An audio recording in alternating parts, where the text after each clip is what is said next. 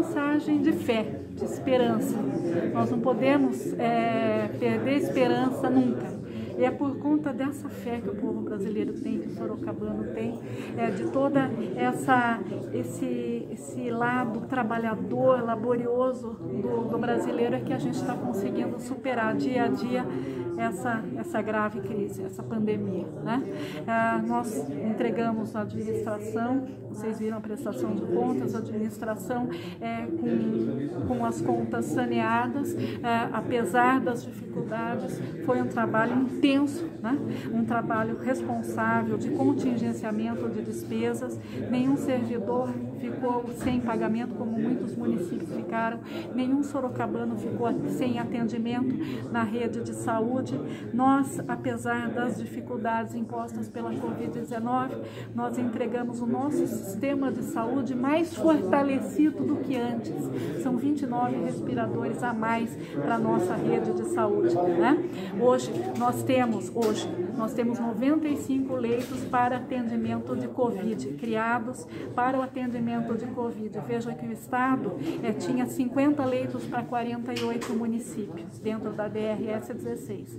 Então, é, nós fizemos um contingenciamento de mais de 280 milhões de despesas. É, as secretarias passaram por momentos difíceis, mas era necessário. Né?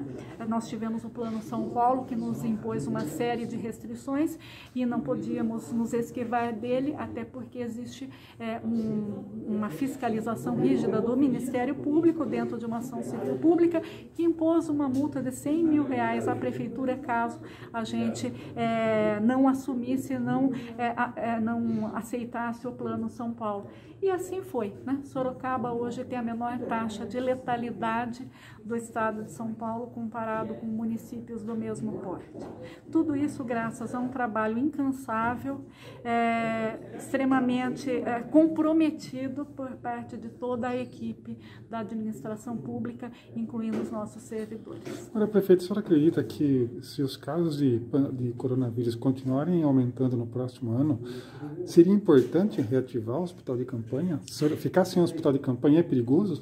Veja bem, hoje, hoje nós temos a situação sob controle porque é, não recebi os dados, não sei se você tem os dados, mas ontem, por exemplo, nós tínhamos 50% dos leitos de UTI é, com taxa de ocupação e mais ou menos 65, 70% dos leitos é, de enfermaria. Nós com as ações que a gente adotou, a gente fez tudo dentro do momento certo.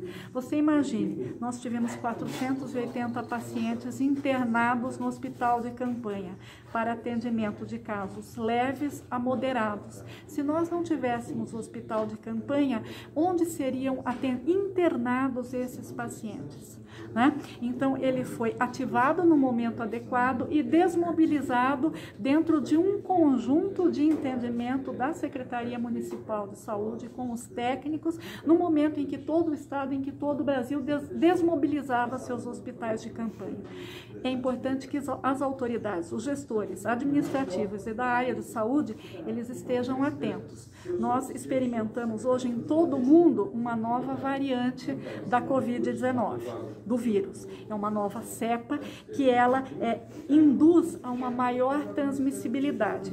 Essa cepa foi descoberta no Reino Unido. Hoje o Reino Unido ele tem um número de casos muito maior, semelhante a abril, maio, no, que é, era o apogeu, o ápice da crise.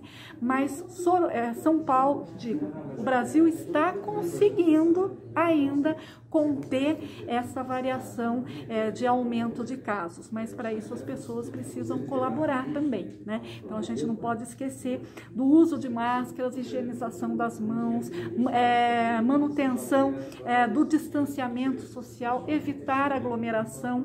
O que acontece? Toda vez que você aglomera, a transmissão é maior. Se você se contamina, você contamina outras pessoas, né? Então é uma transmissão comunitária. Nós temos que ter essa responsabilidade, preservar a nossa vida e preservar a vida dos demais sorocabanos.